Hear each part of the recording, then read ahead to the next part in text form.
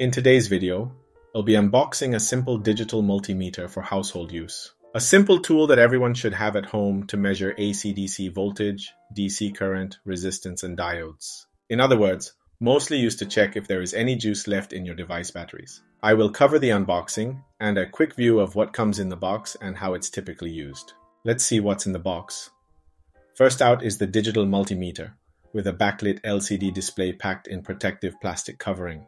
Next, we have the testing leads that includes a silicone cover to prevent damage and electric shocks, easy and ready to plug in and use.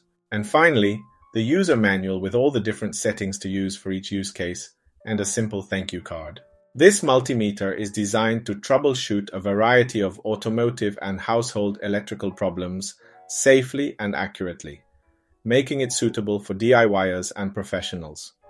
However, it cannot test AC current, so users should ensure the multimeter is set to the correct setting before testing.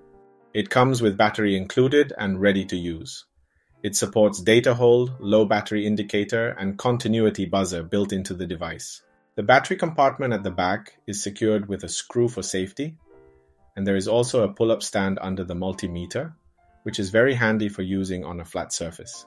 Using it is very simple. All you need to do is plug in the negative and positive test leads. Choose the setting based on what you want to measure and take the reading. For example, I am using this to check if my electric skateboard battery is dead or not. Setting the voltage setting according to this battery, I will be able to get a measurement using this device to see if the battery is holding any juice. If I get no reading, then it just means it's time to replace the battery.